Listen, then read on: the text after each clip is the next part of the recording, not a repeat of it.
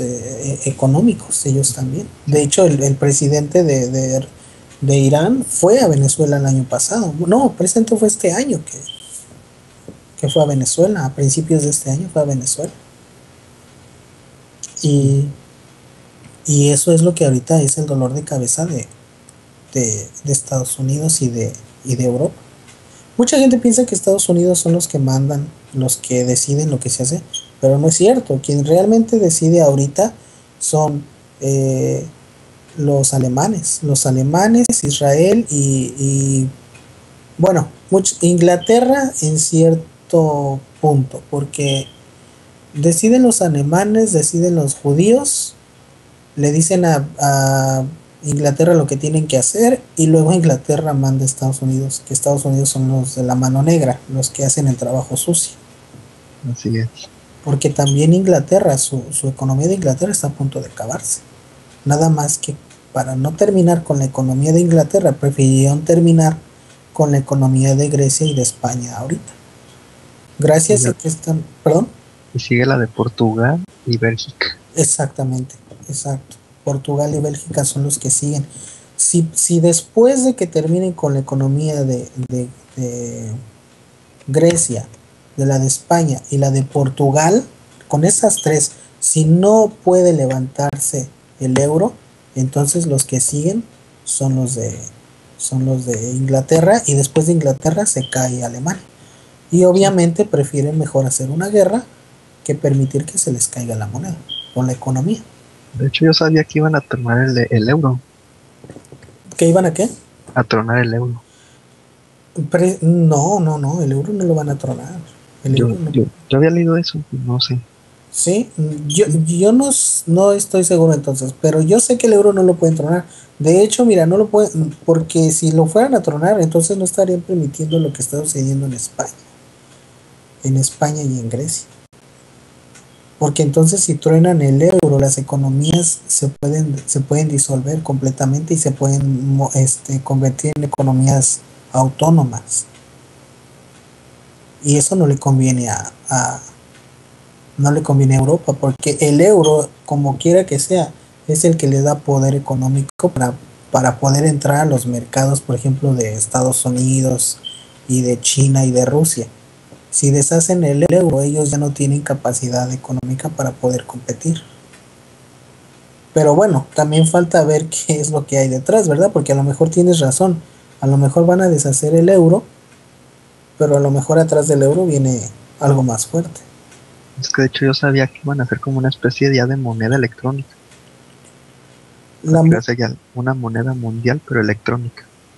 Oh, sí, sí, sí, sí, eso sí, eso, pero eso, eso de lo que tú estás hablando no solamente es la moneda, es el famoso chip. Ajá, sí, sí, es el chip. Es el chip, e, ese es el que va a entrar, pero para ese yo creo que todavía les falta mucho tiempo, mucho tiempo porque... Hasta lo que yo tenía entendido, no querían que llegara Obama otra vez, o sea, no querían que se, que se repostulara. Que ser, no, y de hecho sí, de hecho Porque es el que, como quien dice, aumentar la velocidad de todo el desmadre. Ah, bueno, no querían que se postulara los, los, que están en contra. Ajá. Estás hablando de los que están en contra, ¿no? De los detractores. Sí, sí, sí, porque de, hecho los, los países más ricos por eso quieren a Obama. Y Obama, Obama de hecho solamente es... Obama es lo que Peña Nieto nada más que no es pendejo. Exacto. Obama es el títere de Estados Unidos como Peña Nieto el de México, solo que Obama no es pendejo, Obama sí es listo y, y, él sí está haciendo las cosas como le dicen y como se deben de hacer. Bueno, para los para los intereses de los políticos, obviamente. Y este mucha gente no sabe que Obama, por ejemplo, es homosexual. Y este y lo pintan con su familia feliz y todo. Esa fue la esa fue la razón por la que Obama ganó, porque era el primer presidente negro, porque era una persona que no lo subieron mucho en la política para no meterse tanto en broncas hasta que como senador solamente lo, lo, lo pusieron a que trabajara por las causas nobles, ¿no? Y este, no sé si han mirado el documental de Obama. No, no he tenido la oportunidad de verlo. Se los recomiendo. eh, pregunta Ángel Ryder aquí en el chat. ¿Es cierto que las elecciones de Estados Unidos fueron más asquerosas que las de México en cuanto a fraudes? Mira, siempre han sido así. Siempre han sido así. Lo que sucede es que en Estados Unidos las elecciones las hacen de otra forma. Aquí en Estados Unidos no compran votos, en Estados Unidos no, no, este, no andan pagándote con tarjetitas, ni te andan ahí dando 3 kilos de arroz. Lo que sucede es que en Estados Unidos lo están haciendo más sofisticado, es por medio de, es por medio de las, las famosas computadoras para votar. Este, de hecho hubo una, contra, una controversia muy grande cuando estuvo, cuando ganó la primer presidencia George Bush. Porque Al Gore, Al Gore me parece que era, creo que era Al Gore el, el que estaba contendiendo él había ganado la presidencia. Y este George Bush, con ayuda de su hermano en, Miami, eh, crearon un fraude electrónico para que pudiera ganar. Y no dejaron que ese fraude entrara a los, a los juzgados. Entonces, ah, de hecho hay un video, les voy a, les voy a, les voy a buscar el nombre de ese video, a ver si lo miran en YouTube, pero ese video salió en HBO es precisamente habla de eso, del fraude de, de George con Al Y así mismo es lo que está sucediendo. Por eso no sé si han notado, no sé quién me preguntó en la Rocola, en la administración pasada, no sé quién me preguntó que, que quién creía yo que iba a ganar las elecciones este año en Estados Unidos. Y yo les dije, va a ganar Obama. Y me dijeron, ¿por qué? Pues es bien fácil, ningún presidente de Estados Unidos, creo que solamente uno uno ha sido el único presidente, uno o dos, que no han estado dos periodos en la presidencia. Y eso no lo hacen porque gane, o sea, eso es un fraude. Eso es un fraude total.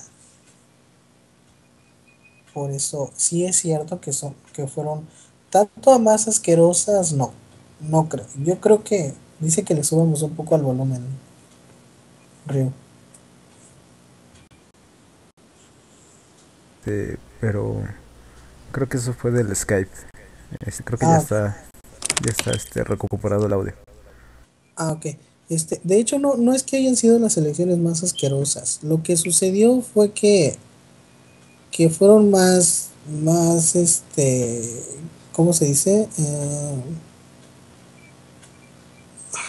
se me fue la palabra otra vez. Caramba, porque si que hablo se me van las palabras.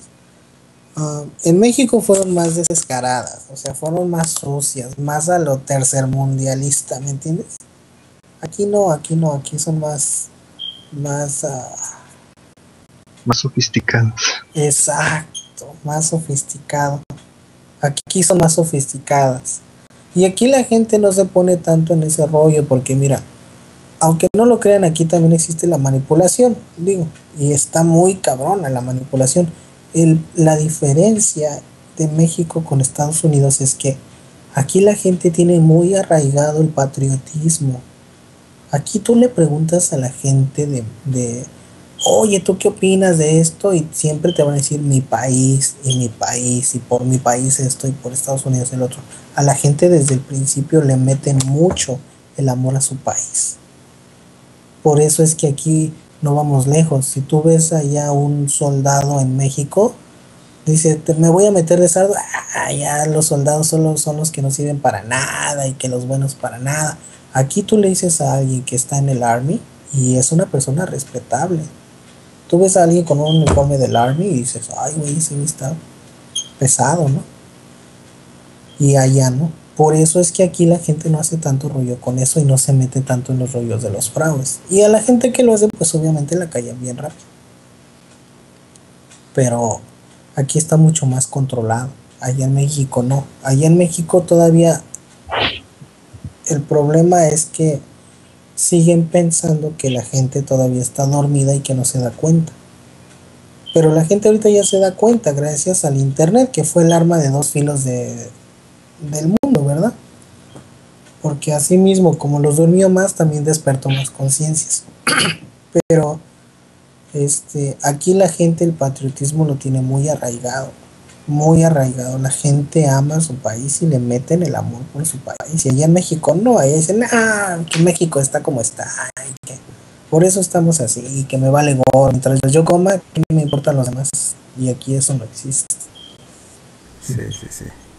Bueno, pues recapitulando ya un poquito este del tema, para terminar eh, nos quedan cuatro minutitos y ya también para que Fecker pueda ir a descansar. Digo, no lo estoy corriendo, pero ya lo digo medio, medio dormido.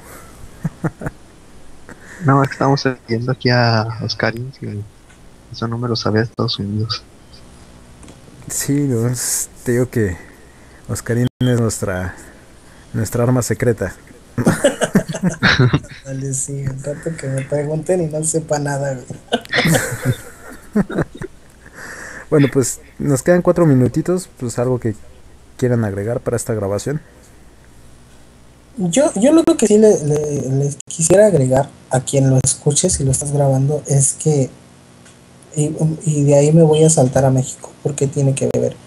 La lucha en México, la lucha en México no debe de empezar nada más en México. Para poder entender lo que va a pasar en México, tienen que entender lo que pasa en todo el mundo. Porque México no es un país que se rija solo. O sea, México depende de... Es más, México, si, si en Inglaterra, en, en Alemania, en Estados Unidos, en, en otros países, no le dan permiso de hacer algo, México no lo hace. Entonces, yo siempre les he dicho, todo el mundo se está yendo que Peña Nieto y Peña Nieto. Peña Nieto es un títere del PRI. Pero el PRI es un títere de Carlos Salinas y Salinas es un títere de Estados Unidos. Y así mismo se va haciendo la, la, la escalerita. Entonces, ustedes están correteando la cola del gato. Tienen que corretear al gato desde la cabeza. Y la cabeza no está en México. No pueden, no pueden eh, arreglar la situación solo porque Peña Nieto no suba a la presidencia. Si no sube Peña Nieto va a ser cualquier otro. y, ya lo, y ya lo vimos, ya lo vimos con el PAN. Así mismo como dejaron subir al PAN y no sirvió de nada, así mismo va a suceder con Peña Nieto. Suba o no suba Peña Nieto, el que suba va a ser lo mismo. Sea del PRI o sea del PAN o sea del PRD, de quien sea. O hasta de Morena. Hasta de Morena, exactamente. Hasta del mismo Morena. Entonces, para, para entender la situación en México, tienen que entender la situación mundial. Hay que conocer primero al gato, como dices, Karim. Exactamente. No nada más es de que chingue su madre Peña y ya. No, no, no, no. Tienen que entender por qué, cómo se mueve económicamente, políticamente, religiosamente, cómo se mueve todo para que ustedes sepan por dónde van a atacar. Por eso es que yo siempre he estado en contra de las marchas y he estado más a favor de los boicots porque las marchas no hacen nada, los boicots son los que más